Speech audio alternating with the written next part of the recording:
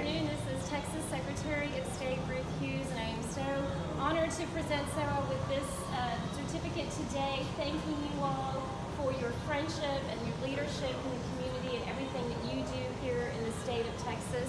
We're very grateful for this very generous donation today and our partners that are helping us in fighting this global crisis. Thank you.